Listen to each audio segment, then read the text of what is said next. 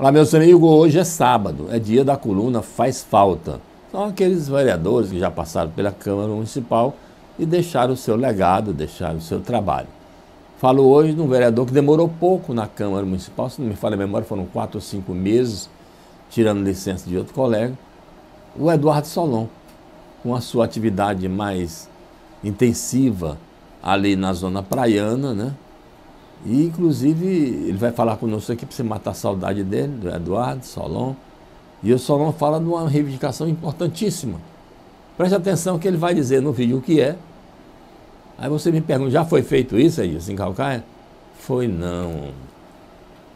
Uma obra tão importante que o Solon está pedindo. Veja aí o vídeo, ó.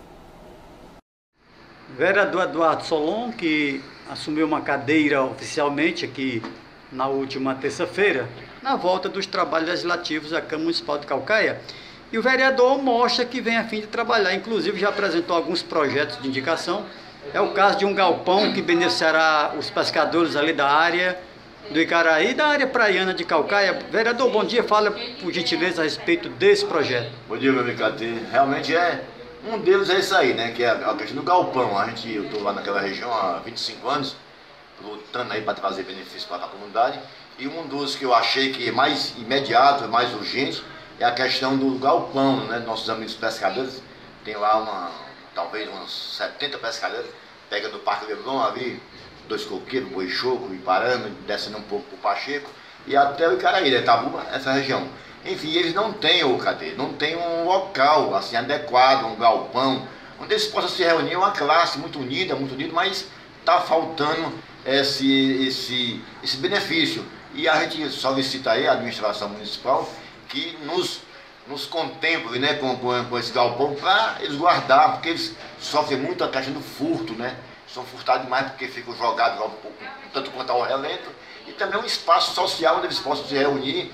É, enfim, é um local adequado para a classe que a gente sabe que pescador é, faz parte da nossa cultura, né? No, no, a nossa descendência é de pescador, é do índio, do negro, e isso é muito importante. Eu acho que a sociedade como um todo deve muito a essa classe. O país, enfim, deve muito a essa classe de pescador, o vaqueiro, né? Também aí no sertão, enfim. É, eu tenho um filho muito feliz por essa ideia nós tivemos e a gente está lutando para conseguir nessa gestão esse galpão. Vossa Excelência faz política ali na área praiana né, do município. E um dos problemas crônicos que vem acontecendo ali é aquela situação da invasão do mar, destruição da orla.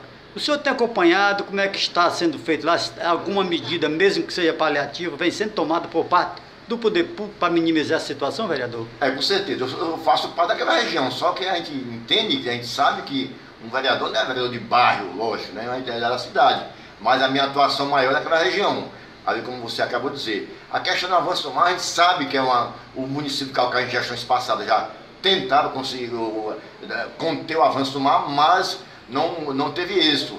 O mar, a água muito pesada e avançou de novo, mas ali tem que ser verba federal, né, Cadeia? A gente sabe disso, que é um investimento pesado. E para amenizar isso aí, eu, eu, a gente vai tentar ir, ir ao Ministério do Turismo, eu vou tentar fazer isso, uma audiência lá com ele, não sei como, mas para ver se a gente consegue é, é, o, a contenção. E a, tem uma, uma, uma, uma, vertente aí que diz que, que ali foi questão de Fortaleza, né? Avançou demais e terminou é, desembocando o mar, quando não tem água, quando não tem escoamento, ela tem, ela tem que ocupar o espaço dela. E ficou uma situação muito difícil, porque se avança, resolve aqui, mas se ofende lá no, no, no, no Porto Pecém, lá é intocável, né? Está certo, fonte de renda, investimento pesadíssimo lá no Porto Pecém. Mas a questão do avanço do mar, volta a dizer, vai levar um certo tempo, porque a verba é uma verba não só municipal, o município de Calcaia, eu acho que não tem condições de resolver definitiva aquela questão. Para amenizar um pouco, eu estou fazendo também a Enel uma solicitação de iluminação pesada na, na orla, que você esteja em Fortaleza, você possa ver a iluminação da orla de Calcaia. E para o turismo, né? À noite você pode ir para o mar, ou, aumenta a quantidade de barracas, e você vai ter uma área de lazer noturna, já que no, no de dia no, no, o mar está inviável para o banho, né? O avanço da, do mar foi terrível, não só na Iparana, nessa região toda, menos lá no Combu. Ok, Ok, vereador, nós lhe parabenizamos pelas iniciativas e desejamos sucesso nesse seu período de interinidade aqui na Câmara. Obrigado, KT. A gente sabe que o, tempo é curto, né? Quatro meses. Na realidade, é efetivamente só três meses. Mas a gente vai tentar aí correr contra o tempo, né? Se é, se é assim que a gente possa dizer, correr contra o tempo, não sei como é que funciona esse, é, essa máxima, mas enfim, aumentar a, a, produção, eu digo a produção no sentido de requerimento, andar mais nas comunidades, conhecer de perto, eu já estou fazendo isso, mapeando aquela região ali, ansioso eu tive nos postos de saúde da, da região, nos colégios, sentindo lá as dificuldades e a gente vai junto ao secretariado e reivindicar. E aproveitar a oportunidade, agradecer ao Eudes, da Eudes Holanda, que nos, nos, nos atendeu de imediato. Nós fizemos um, um pedido lá para resolver a questão lá da 15 de novembro, viu, até aquela avenida da 15 de novembro, que liga o, o, o mar ao sertão. E o Eudes de imediato já botou lá, as máquinas estão lá, as manilhas estão resolvendo lá a questão da, da, do asfalto. Estava terrível, no, os ônibus estavam tá ficando intransitável e está resolvendo lá. Agradecer mais uma vez, repito aí, a, o Eudes Holanda, a administração é, do Naumi tem sido muito bem recebido, sempre foi bem recebido e muitas vezes não, não acontece de imediato porque a cidade grande, a gente tem que ter essa paciência e dar um tempo, mas as coisas estão chegando. Com certeza estão chegando, a administração está muito bem, está coesa e a gente está na luta aí, está na, na, luta aí. E muito feliz também, cara. Aproveitar, estou muito feliz.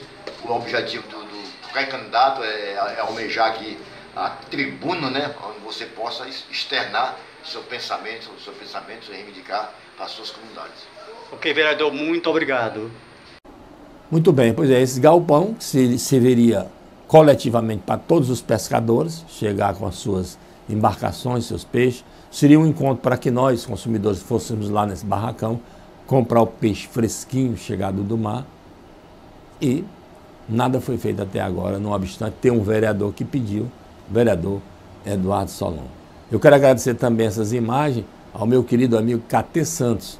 É ele que está falando aí, entrevistando o Eduardo Solon. Catê Santos, um abraço. Muito obrigado pela sessão aqui do vídeo. Um abraço. Inscreva-se no nosso canal. Quer falar conosco? É simples. Acione o telefone 98644 4005.